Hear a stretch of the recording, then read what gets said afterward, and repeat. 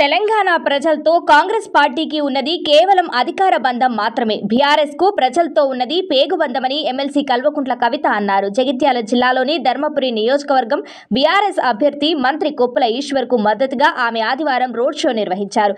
జయశంకర్ భూపాల్పల్లి జిల్లా కాటారంలో రాత్రి పెద్దపల్లి జిల్లా మంతన్ నియోజకవర్గంలోని రామగిరి మండలం సెంటినరీ కాలనీ వాణి విద్యానికేతన్ క్రీడా మైదానంలో ప్రజా ఆశీర్వాద సభలో ప్రసంగించారు. ఈ సందర్భంగా కవిత మాట్లాడుతూ కాంగ్రెస్కు యాభై ఐదేళ్ళు అవకాశం ఇస్తే ఏం చేశారని ప్రశ్నించారు. వృద్ధాప్య పెన్షన్లు రెండు వందలు ఇచ్చారని రైతులకు పెట్టుబడి సాయం కింద ఏనాడు పైసా ఇచ్చినా పాపాన పోలేదని విమర్శించారు. కాంగ్రెస్ పార్టీది ప్రజలకు పెట్టే గుణం కాదని వారిది అధికారాకాంక్ష మాత్రమేనని వ్యాఖ్యానించారు. తెలంగాణను సీఎం కేసీఆర్ అన్ని రకాలుగా అభివృద్ధి చేసి దేశంలోనే నెంబర్ వన్ రాష్ట్రంగా తీర్చిదిద్దారని చెప్పారు. తెలంగాణలో అమలవుతున్నవన్నీ సంక్షేమ పథకాలు కాంగ్రెస్ బీజేపీ పాలిస్తున్న రాష్ట్రాల్లో ఎక్కడా లేవన్నారు. ఒకప్పుడు రాష్ట్రంలో పాఠశాలలే సరిగ్గా లేవని ఇప్పుడు అనేక గురుకుల పాఠశాలలు ఏర్పాటయ్యాయని తెలిపారు.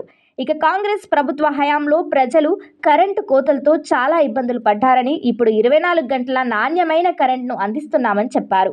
మీ ఇంట్లో స్విచ్ వేయగానే బుగ్గ వెలిగితే కారు గుర్తుకు ఓటు వేయాలని కోరారు. మంతని నియోజకవర్గంలో గత ఐదేళ్ళలో కాంగ్రెస్ ఎమ్మెల్యే శ్రీధర్ బాబు చేసిన అభివృద్ధి ఏమీ లేదని విమర్శించారు.